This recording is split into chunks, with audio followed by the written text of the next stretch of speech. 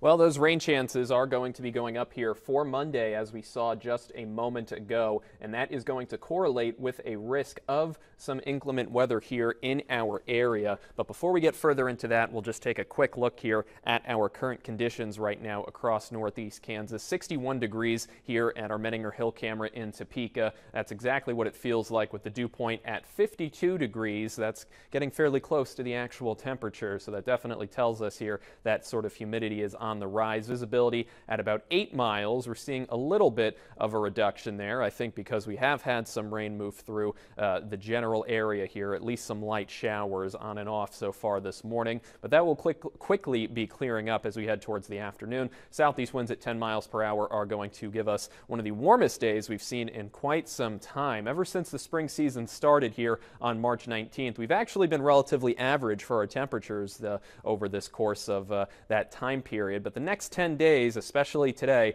are going to bring us more into an above average pattern, sort of keeping in line with what's been the trend here for most of February and March. It looks like as we head into April, we'll be seeing more 70 and potentially 80 degree days uh, ahead of us. But with that warmer weather, at least today and likely tomorrow, is going to uh, help us elevate those chances of seeing some thunderstorms in the forecast. Now, earlier this morning, we had a slight chance of seeing some thunderstorms. Didn't really pan out, but we have gotten a little bit of some showers moving through our northeastern counties here. Uh, that will sort of continue to disperse as we head towards this afternoon. Looking at a dry afternoon, probably a little less cloud cover, though I still think we're going to be mostly cloudy. Heading into tonight, though, is probably when we'll see those chances rebound a little bit. Not exactly a strong chance here either, but there is a risk of being on the very edge of a zone of severe weather that's more so centered in Missouri. Uh, you can see the model here not even even really picking up on any development for this period, so we might escape without really seeing all that much, but it is something, again,